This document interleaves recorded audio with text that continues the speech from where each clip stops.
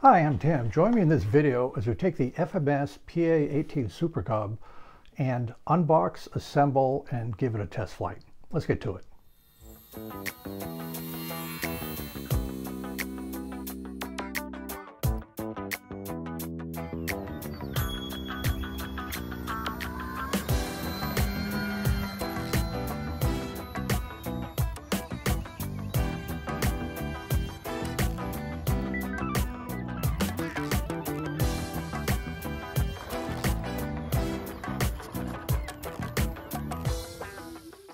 The PA-18 Super Cub was an outgrowth of the famous J-3 Piper Cub of the um, early 1940s. What the Super Cub was, was an improved aircraft, a little bit bigger, a little bit stronger. Uh, production started in 1949. Over 9,000 of these aircraft were built. They're still a very well-liked aircraft today, and they're considered the champion of backcountry um, aircraft. So in this video, what I'm going to do is unbox, review, and fly the FMS version of the PA-18 Super Cub. I'm very happy the folks at FMS allowed me to do this by providing the kit. So let's go ahead and take a look at the box itself, the unboxing, then what is in front of us for the assembly. This is the box that the PA-18 comes in. Very nice presentation. There's a lot of information on the back, information on the side. But one thing I want to point out on this is there are two versions of this kit. There's the plug and play or the ready to fly. The ready to fly comes with a receiver on it. The plug and play does not. So what has to happen with a plug and play, which this version is, you've got to supply three things.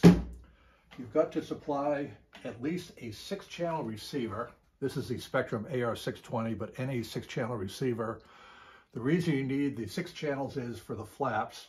You've got to supply your own battery. They recommend a three cell LiPo, which this is here. And then finally, you need a at least a six channel transmitter. Again, I'm using my trusty DX6 transmitter. Again, the six channels for the um, flap function on this aircraft is obviously no retracts on the Cub. One thing that's important to point out is this is a 1300 millimeter wingspan model. 1300 millimeters is about 51 inches. There was a 1700 millimeter, 67 inches. This is a smaller version. Continuing the unbox, these are the bits and pieces, the uh, transfer cord for the reflex. As we open it up, the wings come out, two halves, a fuselage nicely um, put in there, the front and back with the various rods to make it complete. So let's take a look at a few of the items. This is the very robust landing gear. Uh, this is good because it's metal construction. It's screwed in here, metal post.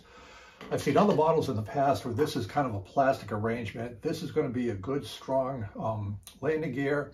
The oversized tires will be fun, simulating a bush uh, type of aircraft flight, and there'll be a spring that will connect these two here. So I'm very uh, happy and pleased to see the quality of this landing gear. That's a good indicator of the overall kit itself.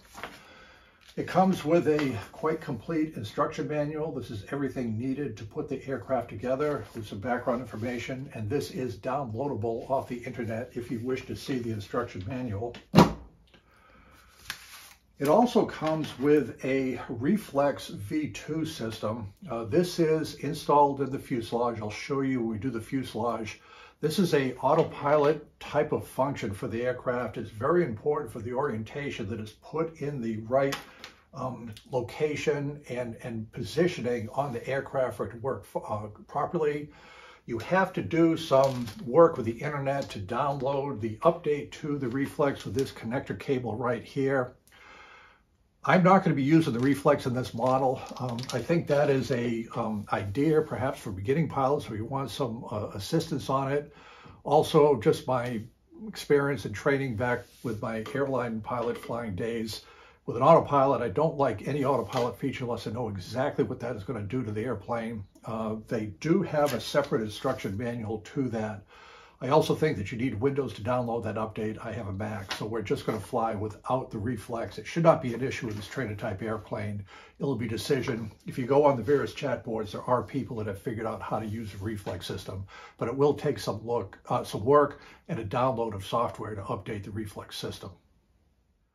Let's take a look at the fuselage. This is what comes. This is all assembled. I can tell you it's extremely lightweight. It is tough foam construction, and where there is needs to, to connect, like with the wings, they have these plastic reinforcements with the um, screw threads in there. It's a very good way to do things. Also, one way that I grade just the thought and the attention to detail when um, making a model, and I've made a lot of model airplanes. You can see on this um, website some of my designs. I've designed six RC model airplanes published in the modeling press. So I kind of know what I'm looking at. And so we'll take off the, um, the covering, which is a windshield. You've got a little latch right here. You simply lift this up and there's the interior of the fuselage. We'll come back to this in a second, but to show you how well made this is, this just clicks into place and you're done. So this is the fuselage. The wings will attach here. Obviously, we'll be putting the landing gear down here and the control struts. This is just a, a dummy exhaust. The motor is already installed in the nose. We'll take this cover off and take a look inside the fuselage. If you peer back there, that orange box, that is the reflex control system. I'll be taking that out and just connecting the rudder, elevator, and ailerons directly to the receiver. This is the wood battery tray, which is a nice touch with the wood. It has a sticky back system here and another nice touch, this Velcro strap to hold in the battery. And these are just the connectors, very nicely marked elevator, aileron, throttle, etc. for the receiver. Underneath this wood, you can't see it, I can't see it, is the electronic speed control. That's all connected to the motor. There's no way to access that unless you want to cut away the foam, so we're not going to do that. It's just built into the airplane, and that's what we're going to use from there. So again, I think a very nice fuselage, and obviously there's going to be a second half. You'll notice in here there is a tube to connect the two fuselage halves, and we will be using this for the wing and also for the fuselage to make sure everything's connected up and strong, these carbon tubes. That'll bring us to the aft end of the fuselage. This is it right here. You can see the little tab with the screws and then the uh, reinforcement rod. The connections for the rudder and elevator. The kit comes with six servos, rudder, elevator, two ailerons and two flaps are all built in. And even on the rudder, the servo's built in and it's already connected to the rudder. So it's all hinged. This is a nice no gap uh, hinge on the other side of the elevator because we're going to install the elevators. We'll have to do the connecting rod with that. So again, a very nice job. It is light as can be with this in here for the tail. So I'm very pleased with what I see so far. And of course, uh, a nice little tail whip for steering on the ground. These are the two horizontal tail surfaces, the stabilizer and elevator. Again, they're all hinged the control rod, excuse me, the control horn with the ball connectors in place. It should be very easy to put this into place and hold it with screws. The wings, there are two wing panels, and again, very lightweight, very true and rigid. There's no worries about warps or anything with this. Flaps, nice big ailerons, very nice hinges with no air gap. There's also lights in the uh, wingtip that'll be fun to use. And underneath the wing, strut connection points, very nicely put in. And then servos for the ailerons and the flaps, all nicely put in. Here are the wires, um, the, tubes all done for you that connect to the servos. And notice that they're labeled with uh, flap and, ail and uh, ailerons. Now, one thing I want to show you, just if you're new to this, you see that the flap and the aileron servos have three wires. The dark brown and red are the power, the yellow is the signal that tells it what to do. You'll notice that this one, compared to the flap, only has two wires, the black and the red. That is the power. The reason this one doesn't have a signal is it's for the navigation lights. And per the directions, what you can do to power up the lights, you simply plug it into any unused port on your receiver. This is a six channel receiver, and I know from experience that the um, number five channel on this one is the landing gear. We don't need a retractable landing gear, so that's the port that we will use for the lights. Let's take a look at some of the other components. Um, these are the very nice uh, struts for the wings. Notice that they're a little bit of a flexible material. That's good because that'll help hold up the wing, but have a little bit of flexibility if they're not installed just uh, properly. This plugs in here. They're, they're robust. It's, it's a tough plastic. I think this is a very wise choice of material for the struts because struts are always getting beat up on landings and grass and so forth. This is the spinner arrangement, which is nice. And it's an 11 by 7 prop. This is an incredibly strong prop that came with it. And this, that's good that comes with prop. And finally, the bits and pieces, the springs for the landing gear, some extensions for the flaps, some screws to put it all together. Just really not much to do. So the next step is to study the assembly instructions, see how to put it together, assemble it, and um, we'll bring you back as we go through the assembly, although I think it's going to go pretty quickly. The first step in assembly is connecting the rear and forward fuselage halves. There's a built-in reinforcement rod that just slips into place.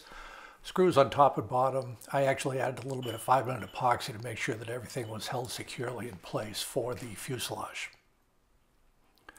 These are the bits and pieces for the landing gear, primarily screws. The landing gear, the front half has the strap to put in place. The rear one shown there, the cabane struts will keep the aft end of the landing gear in place. These are the two wing halves, and we see where we're going to attach those to the fuselage. You can see the hole for the spar, the little rectangular for the wires to go through, then the two tabs to screw for the uh, screws to hold the wing in place. Another view of the underside of the wing. Can see the aileron and flap servos, and here are the wires that come out. The one that's noted for flaps, the other three wire is the aileron, and that two wire is the navigation lights.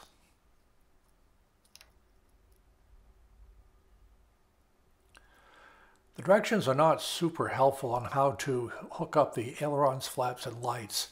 So let me give you a little bit more detail how I do that. You'll have two, three um, plug flaps, one's for the flaps and the ailerons. The single plug goes into the flaps, the other one goes into the ailerons. The three wire extensions connect the um, ailerons for each side, the flaps for each side, and then the power for the navigation lights. And again, I have a little bit more detail later on in the video exactly how that is done. Here's the other side of the fuselage. You can see where the um, rear landing gear hold down are the cabane struts attachment. They just screw in with the supplied screws. Actually a pretty good setup for the um, for the for the cabane struts. Cotter pins hold it to the wing and these um, other struts just plug into place.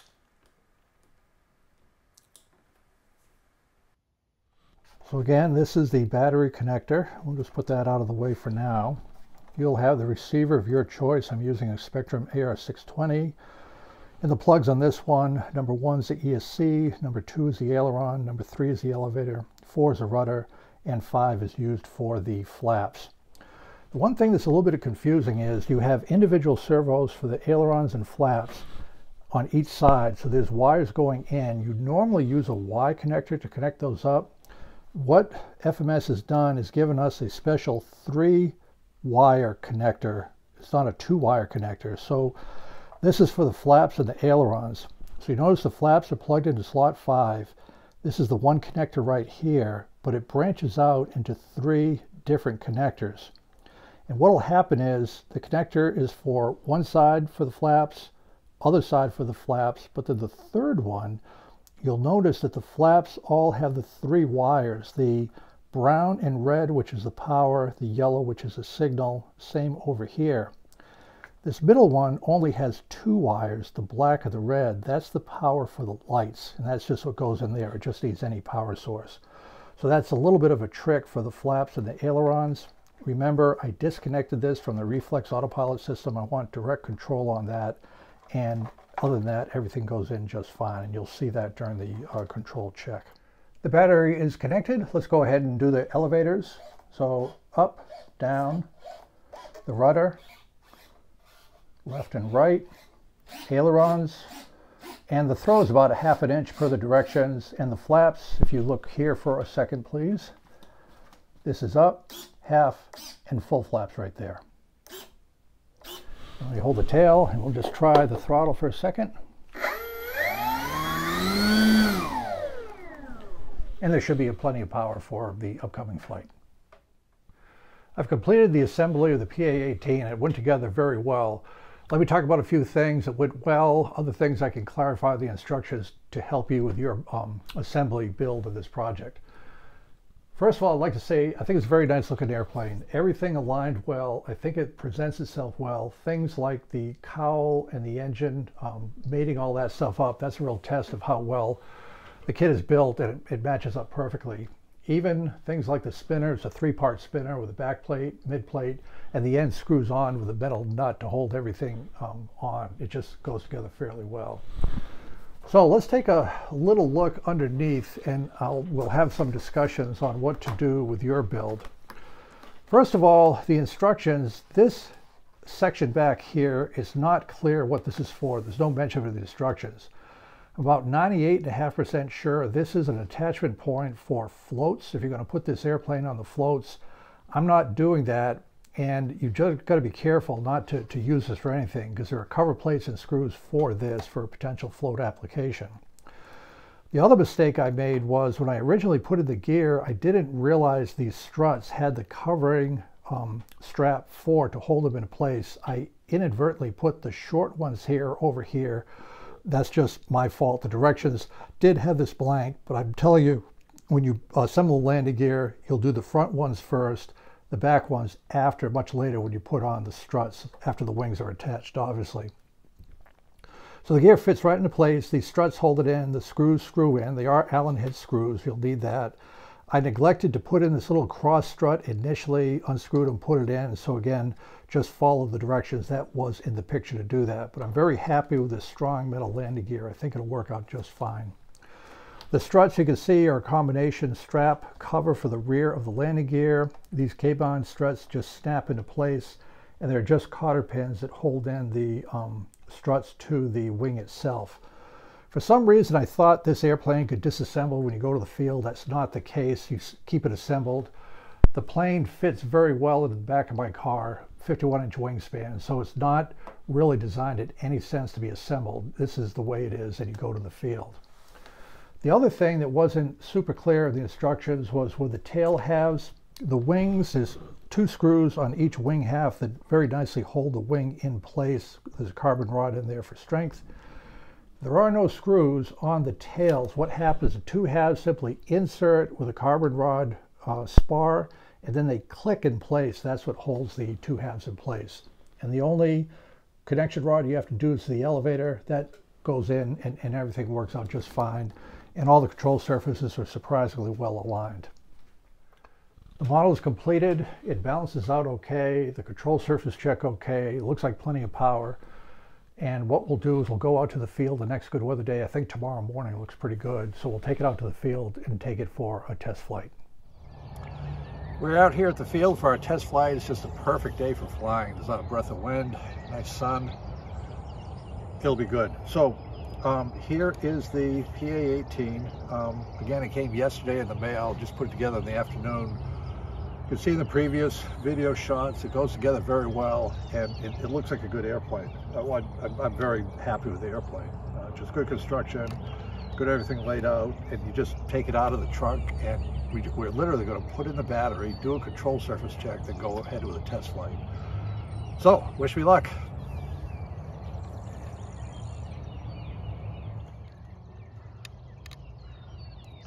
98, that's perfect.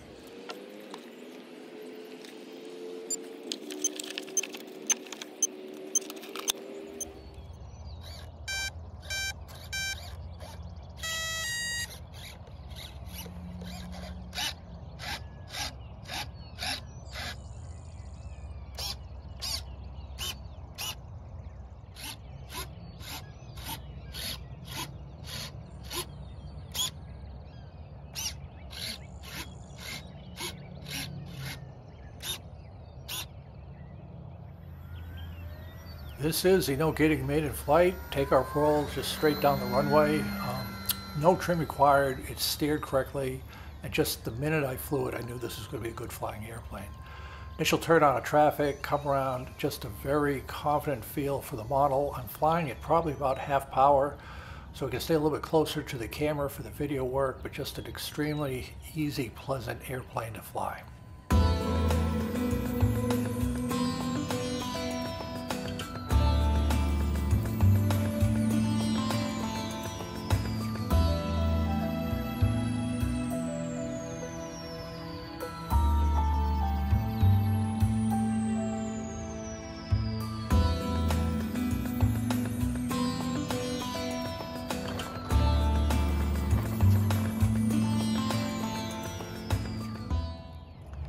Just completed uh, two test flights of the PA-18 and I think the flights speak for themselves. It's one of the nicest flying aircraft I've ever flown. You saw in the takeoff, it tracked straight down the runway. There was no trim required, which meant that the um, tail uh, wheel was aligned with the rudder perfectly.